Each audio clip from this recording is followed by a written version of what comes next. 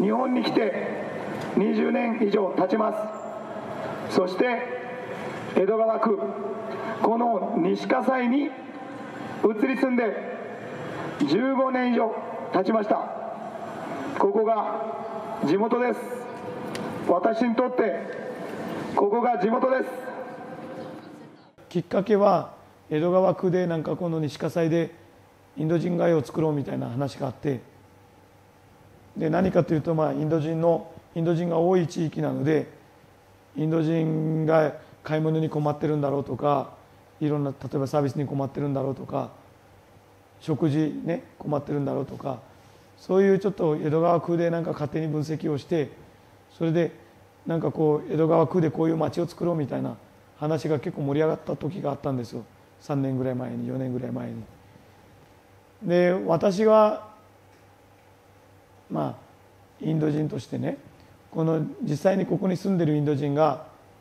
何を求めてるかというとそういうものを求めてないと僕は思ったんですよ。なんでその時江戸川区と会話をしようとしたんですけれども結果的にその会話がうまく進まずに、まあ、最終的に私区長までもクレームを入れて手紙書いてこれは間違ってますよって言って止めるか私はインド人を立ち上げるか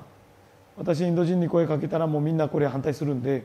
その事態を起こすか区が自分でここを反省して正しい方向に持っていくか考えてくださいって言って、まあ、結果的にそのプロジェクトが止まったんですけれどもリトルインディアというプロジェクトを区が始めようとしたんですよ。その時に思ったんですよ。じゃあ自分で区議会に入っていって自分でやればと思ったんですよ。だから文句言わないで自分でやってみたらっていうふうに実は自分に問いかけたのがその3年前に初めて選挙に出ようというきっかけだったんです。選挙も後半戦に差し掛かりました。リー小牧いつも以上に力を入れて演説します。リー小牧の応援をどうぞよろしくお願いいたします。4年前に私は帰化して日本人になりました。日本人になってわずか2ヶ月間。わずか2ヶ月間。私は2015年の新宿区議会選挙に立候補しましたが一戦18票で残念ながら落選してしまいました。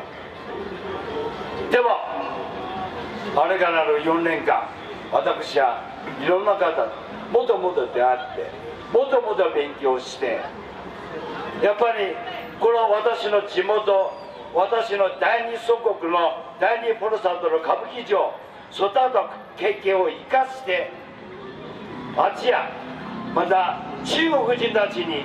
向かって伝えたいこといっぱいあります。ありがとうございます。谢谢你们谢谢你们我会讲中文我本来就是中国人我原我是原中国人加油加油井上井上の恵美でございます私は南米のボリビアで生まれましたそこでボリビアの中央銀行と国連で働きましたこの8年間隅田区議会で頑張ってまいりました There is a lot of uh, issues like uh, Japanese uh, society is very shy and very formal, so it's very difficult to approach to people who are different. And uh, foreigners in Japan always feel outsiders, even if they are living 50 years, but they will be always outsiders. They, they never are inside of the Japanese society. So these kind of things, common pe- people cannot change, right? It has to come from inside of the lawmakers. Lawmakers has to change. They have to give opportunity to women to have more opportunities at jobs, same salary, etc. Uh, lawmakers has to change the laws to integrate society. Uh, lawmakers has to make better English education. So That's why I, I decided to become a politician because otherwise you cannot change.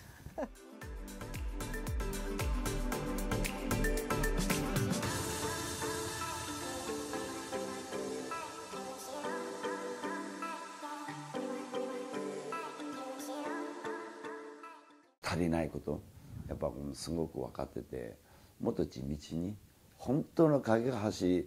えー、やるならやっぱ日本人に声届かないとただ空中戦で戦火でポスターでじゃ伝えないんですよね。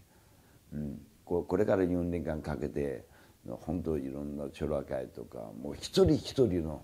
住民と話していくしかないかな。